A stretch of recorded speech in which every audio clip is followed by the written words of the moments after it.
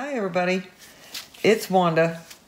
So today I have a nine inch round, nine inch diameter aluminum circle here that my friend sent me that's an eighth of an inch thick. So you can tell right here, there's a cut where the laser cut into it, but I think the paint's probably gonna cover that up. So I'm not too worried about that. So I have mixed up some purple iris apple barrel with some of my Sargent's pearl medium in it and I also had a little bit of the hologram paint left over so I put a little of that in there.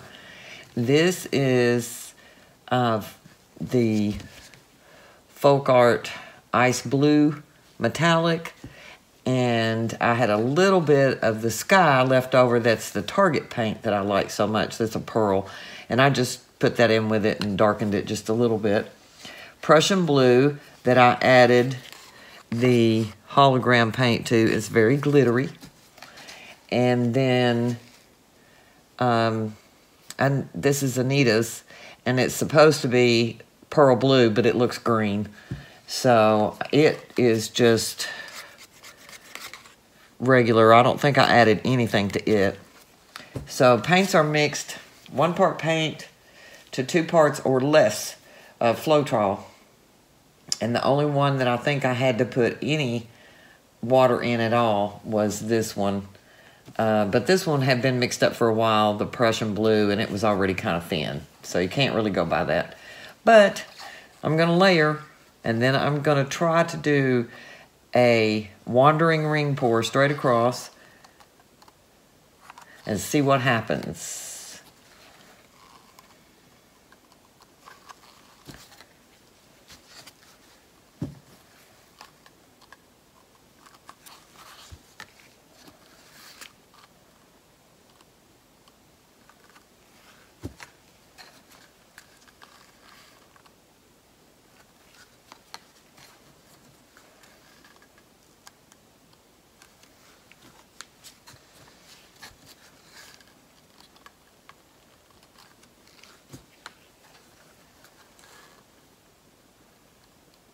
I'm guesstimating on how much paint I need. I'm probably gonna have way too much, but I'll give it a go.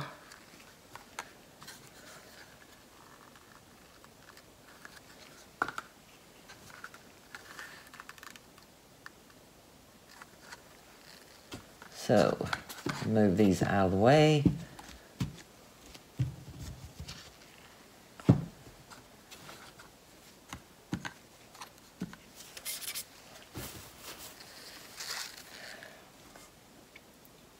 I think I'm going to start up here where that cut is because I want to be sure I get a lot of paint on it. Um, I did prime this and I used the uh, Zinsser 123 all-purpose primer. It's supposed to be for every surface. So we'll see how that goes.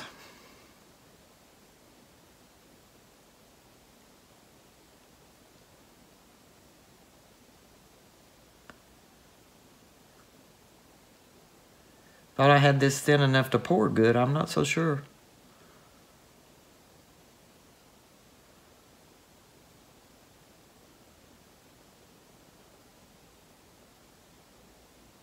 I love that Anita's color. It says it is blue, but it looks green. Looks like a mint green.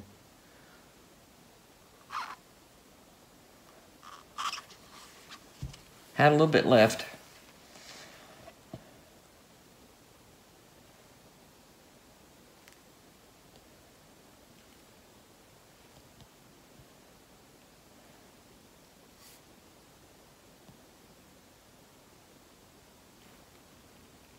I guess whenever I get it over to the edge, I'm just going to have to hold the edge of the thing because I didn't put anything underneath it for me to hold on to. I really didn't even think about it.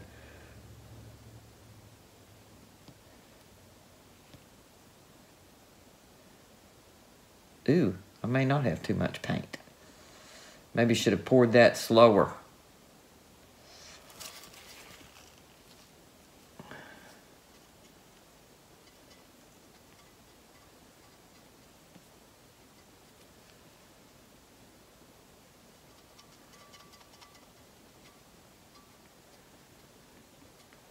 There we go. Looks good enough.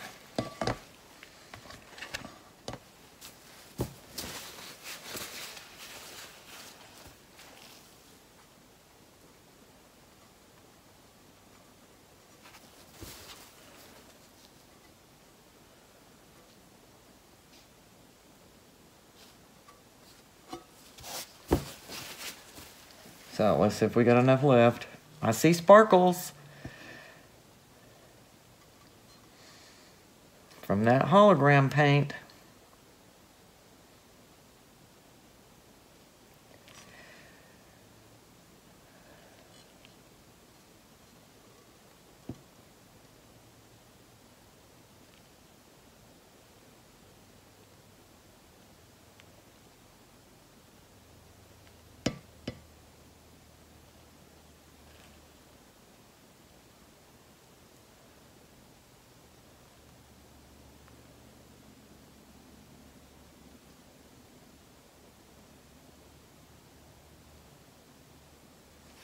Hope y'all can see it. I didn't think about my thumb being in the way. I'm so excited over these colors, I can't think.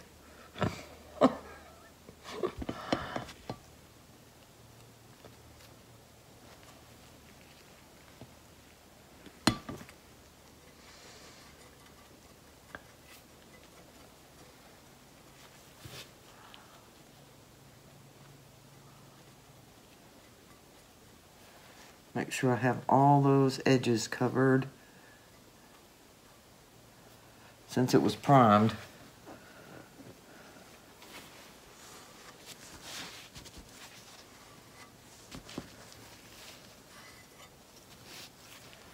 I'm going to tilt it back this way a little bit.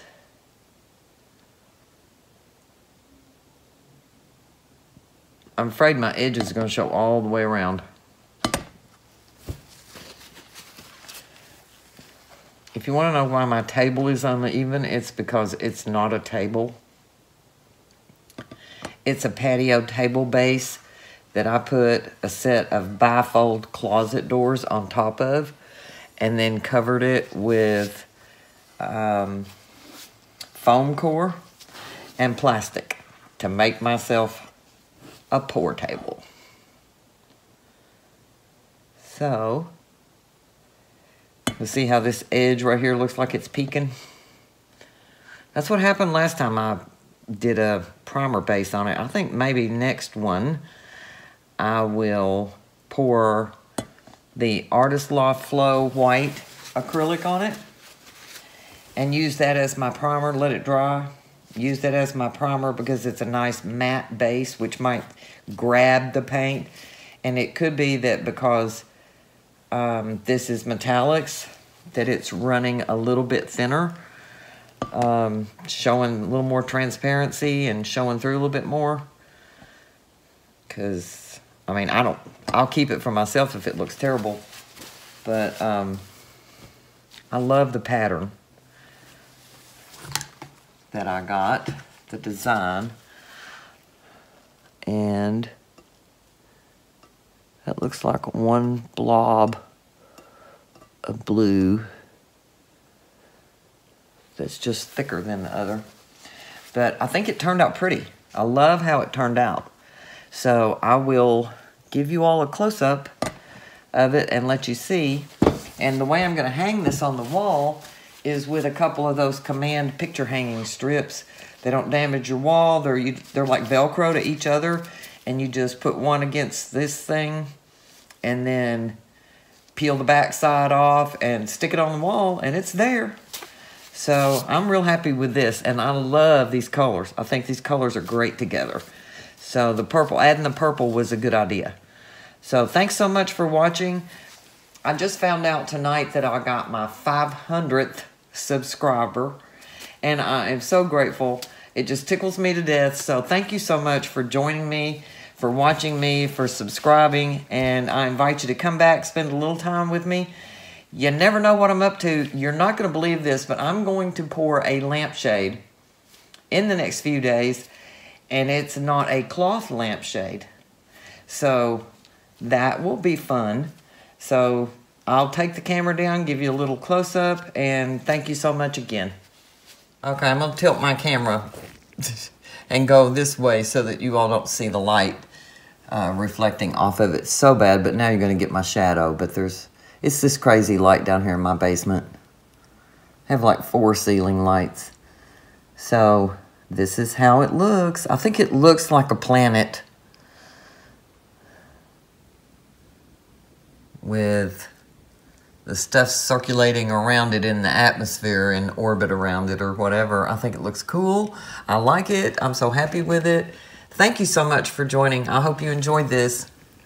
I did get some cell action, not real cells, but just a nice blending. So thank you again.